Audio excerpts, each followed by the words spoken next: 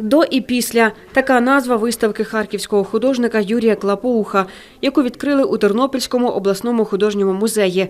Життя художника, за його словами, поділилося на дві частини до війни і після 24 лютого, коли митець був змушений переїжджати з Харкова на Тернопільщину. На виставці представлені роботи побутового жанру, присвячені українським традиціям, пейзажі, портрети, натюрморти та полотна на військову тематику.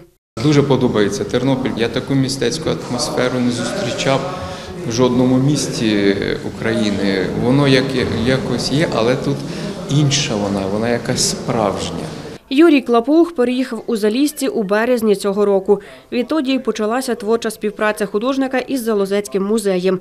Брав участь у художньому пленері, а отримані за дві свої картини кошти віддав для потреб ЗСУ. Також на Тернопільщині художник написав портрет упівця та ікону герб залістів. Ці зображення згодом були видані Укрпоштою як марки, розповідає директор Залозецького краєзнавчого музею Василь Ільчишин. У своїх роботах Юрій Клапух відтворює життя таким, яким воно є, каже мистецтвознавиця Наталія Собкович. Це художник е, художник е, з філігранною манерою, майстерністю. Перша його персональна виставка відбулася 30 років тому, розповідає Юрій Клапоух.